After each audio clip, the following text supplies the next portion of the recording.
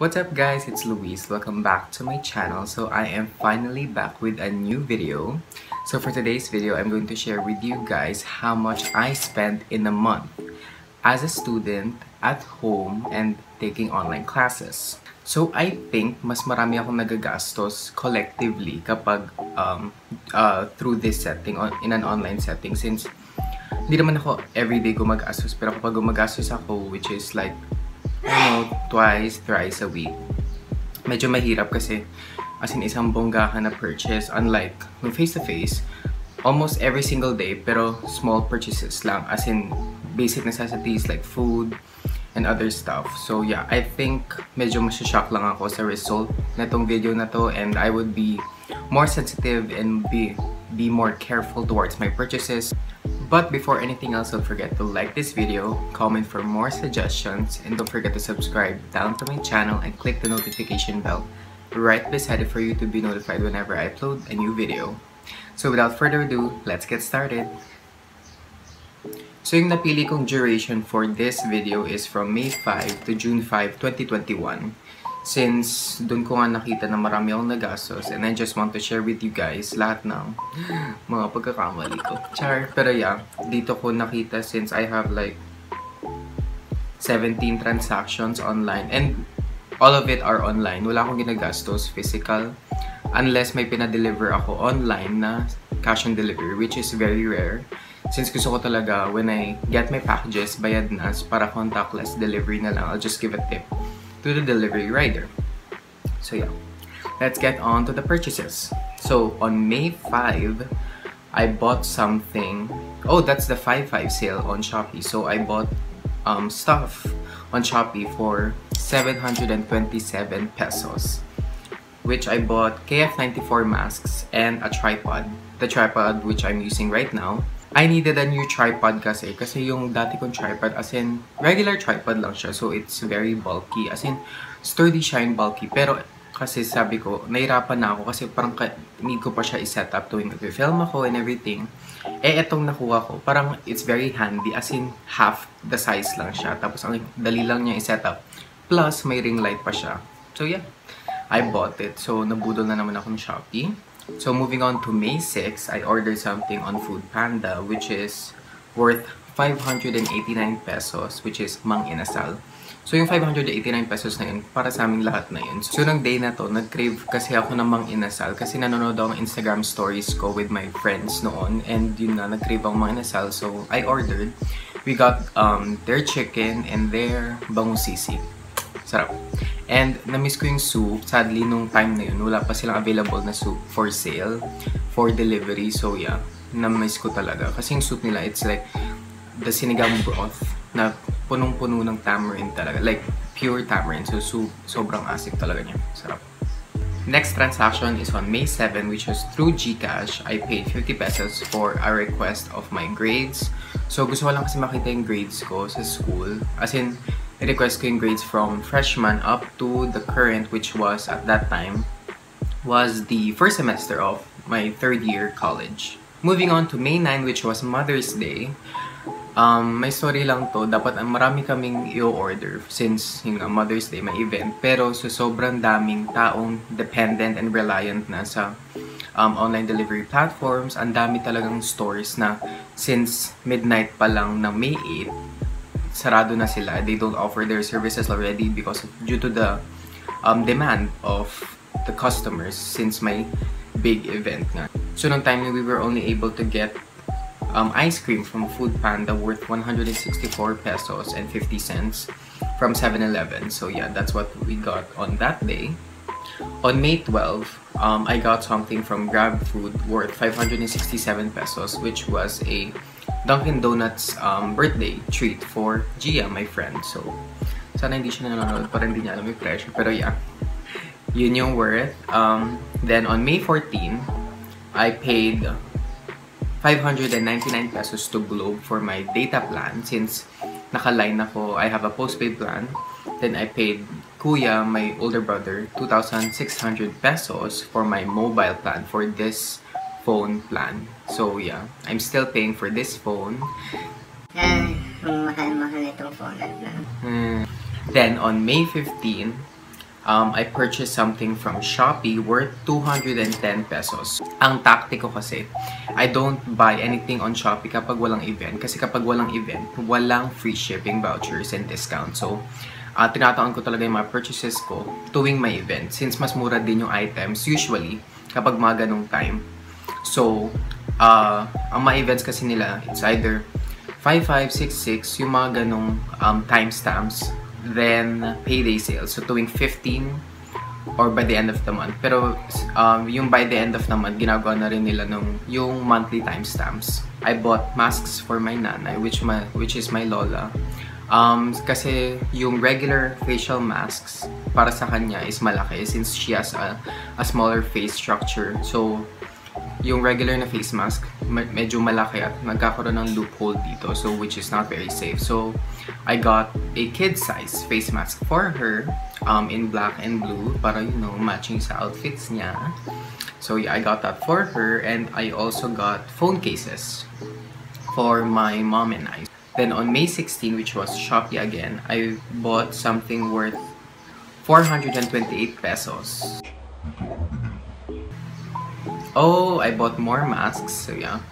So super stock na kami sa mask. Then on May 19, which was Shopee again, um, I bought something worth 411 pesos, which was oh, I bought 411 pesos um, worth of face shields. So yeah, I bought face shields just to be prepared and everything.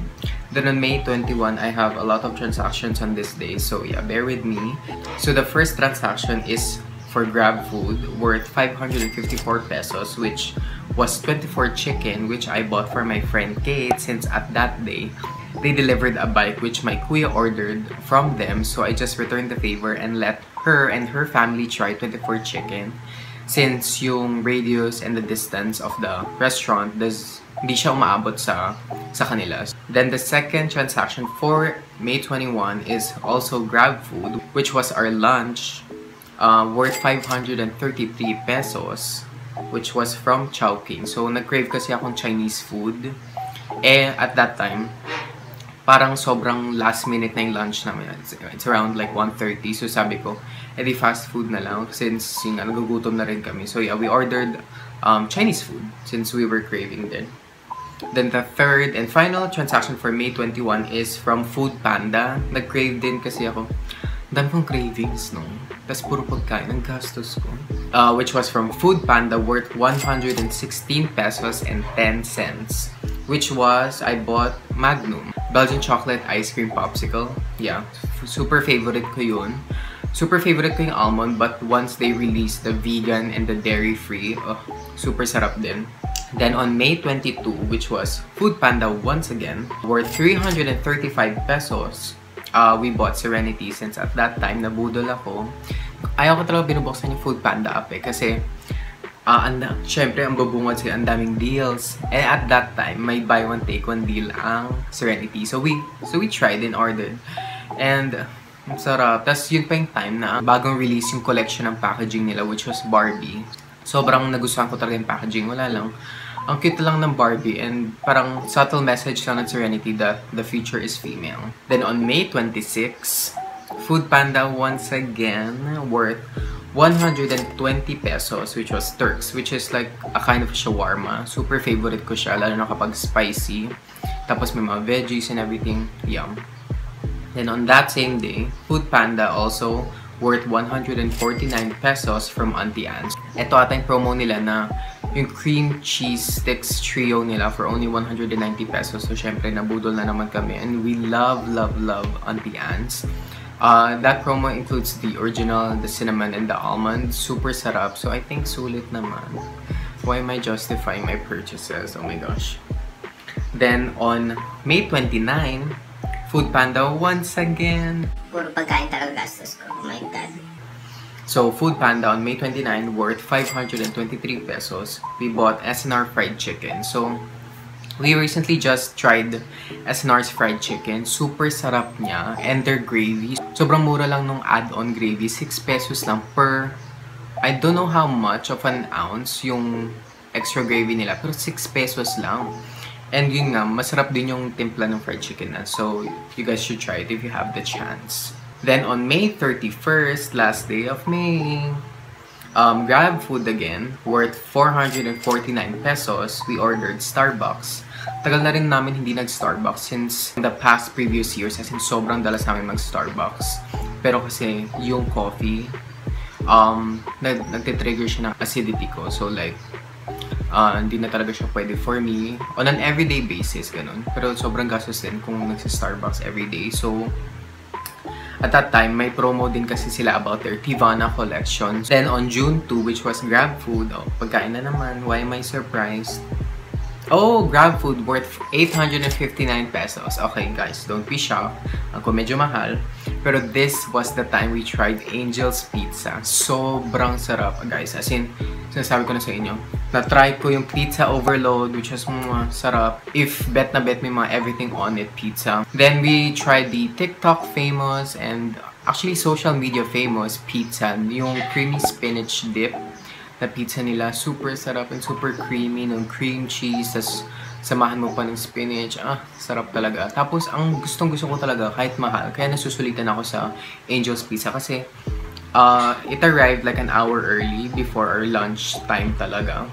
Pero, uh, nung after nung one hour wait na yun na nasa table lang yung pizza, hindi pa siya makunat. Which normally, yung mga commercial pizzas are makunat na after an hour kapag hindi pa nakain ka agad. So like, na-shock na talaga ako. Tapos, of course, may mga natira kami kasi yung overload, pati yung spinach, medyo heavy talaga sa chan. So, um, nagkaroon kami leftover. Kasi siguro, after a day and a half pa namin nakain yung as in naubos namin yung pizza itself. Hindi talaga siya ano, kumukunat. As in, ma makikita mo talaga na hantos, na fresh talaga yung dough na ginamit. So, yan. Sulit. You guys should try it. Then on June 4, okay, malapit-lapit na tayo. Second to the last day. June 4, grab food again. Siyempre, worth 568 pesos. Uh, we got um, ice cream from Selecta. So, at that time, nagka-crave ata si mami ng ice cream. We got coffee crumble, cookies and cream. And for me, I got Magnum since it's my favorite talaga. Then on June 5, which is the final day of the duration. Ay, salamat. Shopee, syempre, kasi magkakaroon na ng 6-6 sale the next day, which is June 6. So, nung June 5, nag-top up ako ng 2,800 pesos for the 6-6 mid-year sale. Nag-top up ako ng ganong kalaki since marami kaming bibilin needed for the house. Some personal items, you know. Yo.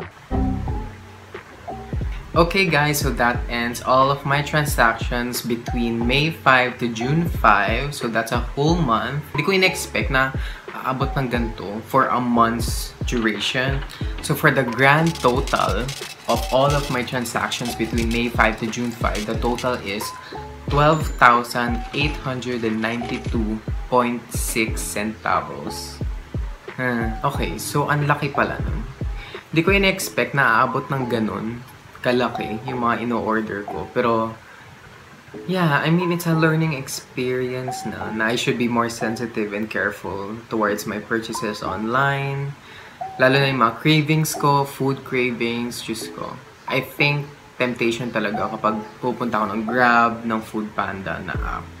As in, kapag makakita lang ako ng promo, as in, order na kagad yun, which is not practical.